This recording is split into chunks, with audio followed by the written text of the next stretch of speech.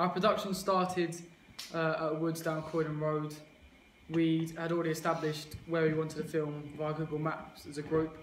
Um, we felt that this, uh, this location uh, was very conventional for our open scene, being in the genre of horror.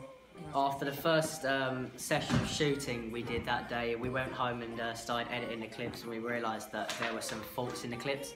So uh, as a group we had to decide uh, another location to perhaps um, make a backstory or make the audience more familiar with what's going on in the plot. So um, we searched the surrounding areas and found this, um, found out that my house would be the best location for this as it's near a woods itself and um, the road was quiet so we could use that as a facility.